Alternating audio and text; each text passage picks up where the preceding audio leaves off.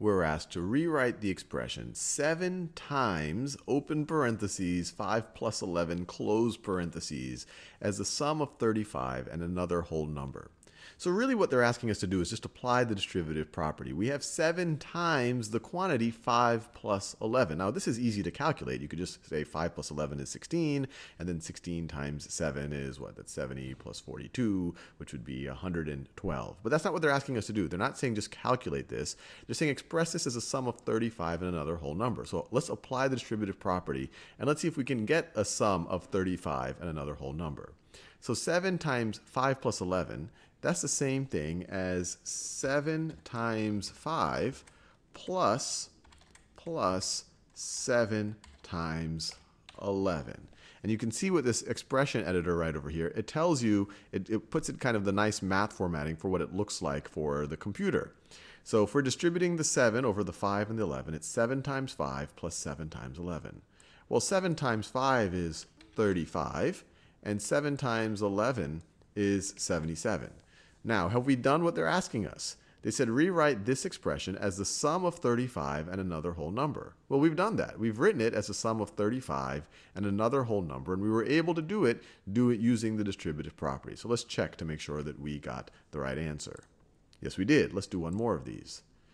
Rewrite the expression 12 plus 75 in the following form. A times 4 plus C, where A and C represent whole numbers.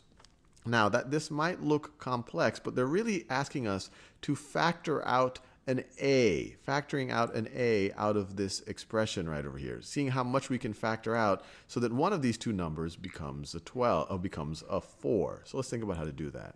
If we look at these two numbers, the greatest common divisor of 12 and 75 looks like it is 3. 3 is definitely divisible into, or both of them are divisible by 3.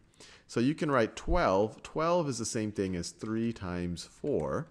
And 75 is the same thing as 3 times 3 times 25. Now, what we could do is we can essentially factor out, we can factor out the 3. So this is, or you could say we're undistributing the 3. So that's the same thing. 3 times 4 plus 3 times 25, that's the same thing as 3. That's the same thing as 3 times 4 plus 25.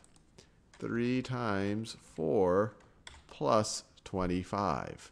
And it looks like we've actually put it in the form that they want us to put it in, where 3 is A and 4 is right there, it's 4, and then C is 25. So we've put it in the right form. Let's check our answer. We got it right.